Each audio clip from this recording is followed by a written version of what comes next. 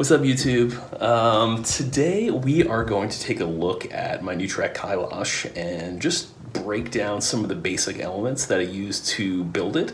We're going to take a look at some of the, uh, the gear I used and some of the techniques that were employed to build the beats and the melody.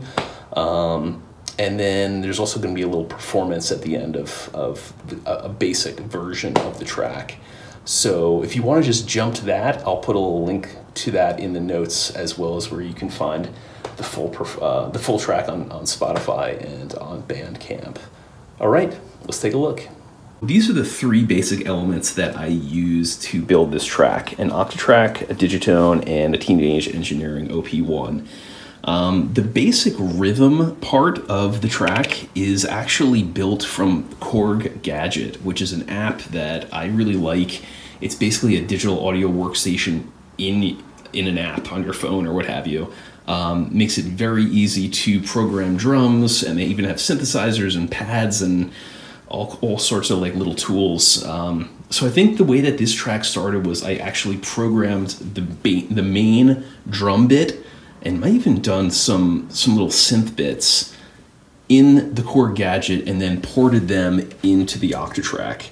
Um, and once I got them in there, then I started doing what what I really like to do, which is basically set up a couple of these pickup machines, um, which are loopers in the Octatrack, and they're great for just kind of jamming and developing song ideas. One of the first things I did that I really liked was this kind of like surfy sound. Let's hear it.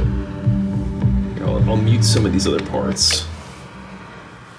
I don't know if you could hear that kind of like surfy, kind of like analog hiss, hissy sound.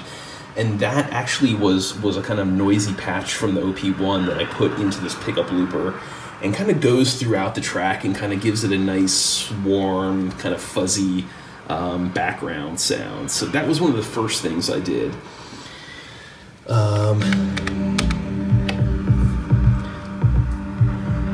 yeah, I think this that kind of like um, synthesizer sound also that is also that that I think also came from a Korg gadget, um, and I brought that in as just kind of a, a background pad. The next main element that um, kind of solidified and kind of defined what this track was going to be was the thematic melody.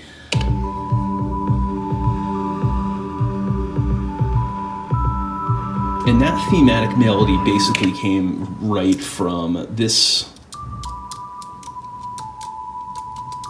That's that that came from the OP1, and I really like that sound. I actually use it on a lot of different tracks and I ended up using this for for bass. I, I have some rhythmic elements, some some drums and some claps and stuff like that are all coming from um, the Digitone as well. So you'll see in this performance, what I'm basically doing is just kind of going back and forth, switching sequences between uh, the Octatrack and the Digitone. So I think that's the basics of how the track was constructed. I hope you dig it, and uh, let's take a look at the performance.